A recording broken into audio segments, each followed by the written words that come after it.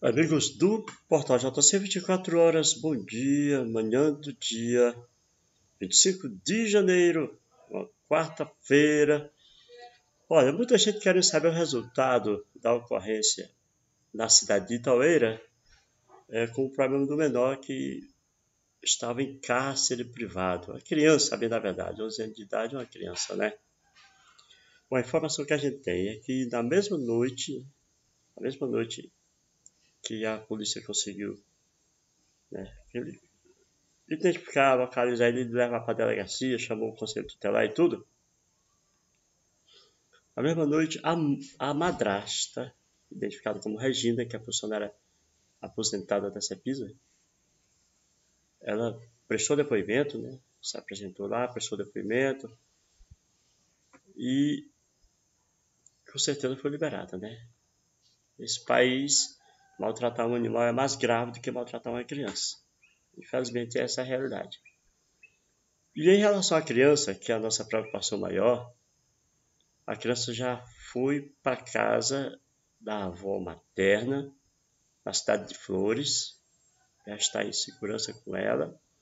E outra informação que a gente teve, minha amiga Elza, bom dia para você, é que há um tempo atrás, não me informaram quanto tempo, um garotinho, uma criancinha, irmão dessa que estava sendo maltratada, morreu afogado num balde. Num balde de água, uma morte acidental. A gente não vai aqui dizer que houve negligência por parte de quem estava com essa criança, mas de qualquer maneira, uma criança morreu afogada num balde, há de se concordar que alguém pisou na bola e não foi a criança. Né? Então, essa é informação que a gente tem, meu amigo Felipe. Bom dia para você. E o melhor de tudo é saber que hoje a criança está bem, pelo menos supõe-se que esteja bem, estando com a avó. Eu é que se fosse avô, o neto meu tivesse na mão dos outros, eu ia chamar o pai ou a mãe na responsabilidade. Porque é aquela história, né? Quem pariu Mateus que balance, quem não pariu que descanse. Me disseram, eu tive informação com pessoas lá da cidade de Flores. Um abração para o povo bom dessa terra maravilhosa, Flores do Piauí. Bom dia, minha amiga Ieda. A informação que, que me disseram também é que esse garotinho tem 11 anos de idade, mas pelo aspecto franzindo parece que tem 6, 7 anos, de tanto que estava sendo maltratado. Então a família biológica não estava sabendo disso, não estava vendo isso. E para encerrar, vai aqui uma sugestão para o juiz que está, o delegado que está apurando esse caso, e o juiz que vai, que vai julgar. Veja o critério adotado na adoção dessa criança, porque pelo que me disseram, foi só naquela do pega que o menino agora é teu. Não tem nada oficializado, não tem nada legalizado, não tem nada no papel.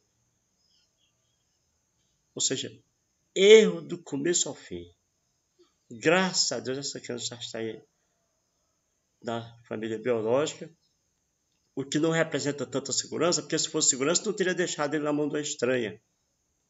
Essa estranha não teria feito tanto mal durante tanto tempo. Ele foi para a mão dessa, dessa mulher, ainda pequeno, né? Ele permanece pequeno, mas é, um ano, sei lá, meses de vida, e foram dez anos com certeza de sofrimento certeza de sofrimento. Quem tiver mais informações pode passar para a gente que a gente agradece, tá bom? A gente agradece. Essa pessoa não pode ficar, fazer o que fez e ficar sorrindo com o vento, não. Você é de tombar caminhão fazer um negócio desse. Gente, vamos encerrar por aqui. Muito obrigado a cada um de vocês. Que Deus abençoe a todos nós. Portal JC, 24 horas, com você.